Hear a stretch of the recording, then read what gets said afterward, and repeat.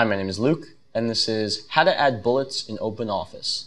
If you're using Oracle's OpenOffice suite instead of the Microsoft Office suite, which is a great open source and free alternative, what you're going to want to do sometimes is install bullet points into your documents. Click on the Start bar and open OpenOffice. Select a text document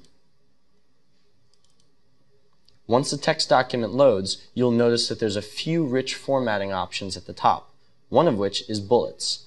You can do Shift F12 on the keyboard or simply click to choose to have bullets going on and off. As you can see, as I type, bullet points will be enumerated as I press the Enter key. And that's it.